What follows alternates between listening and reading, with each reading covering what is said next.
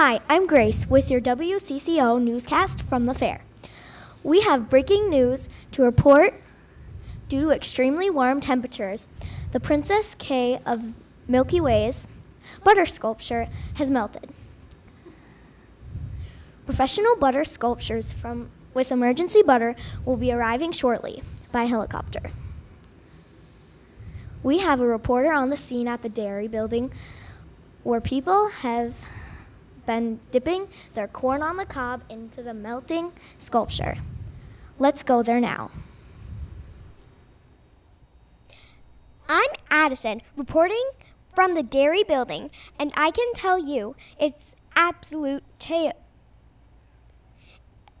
in here right now. People are rushing in to get just a drop of the of the royal butter. Well, sales have skyrocketed. Over at the corn roast, the extreme heat has dairy workers scrambling over the remaining sculptures. Sources tell WCCO the Princess Kay is very upset. What has taken place here today? We tracked her down for a, exclusive interview. Let's send you back to the studio for that. I'm Ashton Pauling, and I just returned from my interview with Princess Kay.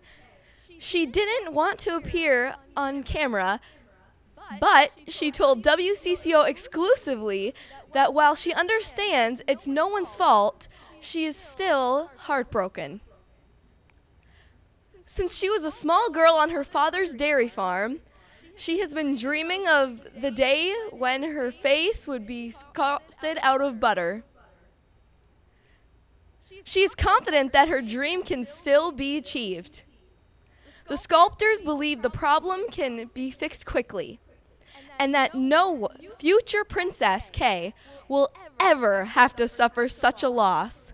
Back to you in the studio.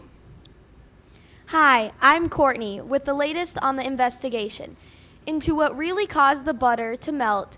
Sources say the warm temperatures were a factor, but the unplugged air conditioner is really to blame.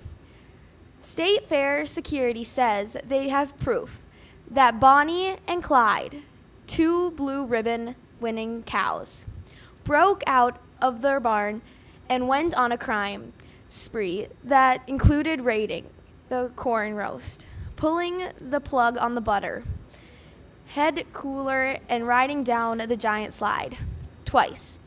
Bonnie and Clyde were caught trying to break out a couple of pigs from the swine barn. All the animals are now safely back in their pens.